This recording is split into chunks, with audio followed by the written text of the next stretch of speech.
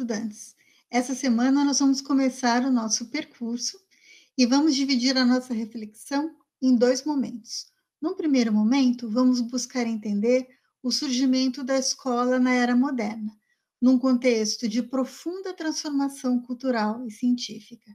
O Renascimento, como uma transformação artística, literária e científica, a ampliação do mundo e dos horizontes do mundo com a empreitada das grandes navegações, a primazia da ciência e, progressivamente, o fortalecimento do Estado, que vão retirar a educação das organizações exclusivamente religiosas num processo lento em que ela passa de ser de interesse e de influência do Estado.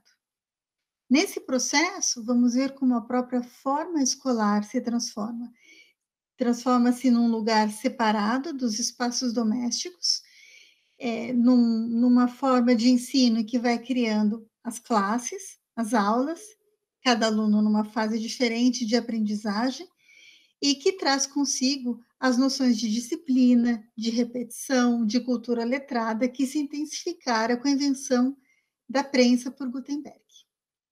Num segundo momento, nesse contexto da era moderna, nós vamos lançar o nosso olhar para o Brasil, para os primórdios da educação aqui no Brasil e para a experiência dos jesuítas a partir de 1549.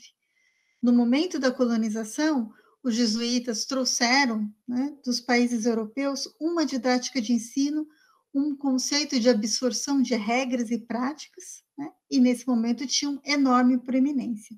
Aqui no Brasil, eles atuaram tanto na catequese dos indígenas e, consequentemente, no rompimento e destruição de tradições dessas culturas originais, mas também nos centros urbanos, como Salvador e Rio de Janeiro, criando colégios para o estudo da elite, para os filhos dos senhores de engenho, colégios que foram por eles administrados até a expulsão dos jesuítas de todo o território português, logo do Brasil, no ano de 1759.